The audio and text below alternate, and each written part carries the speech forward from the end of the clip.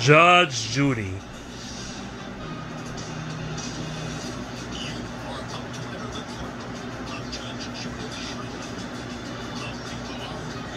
The cases are real. The rulings are final.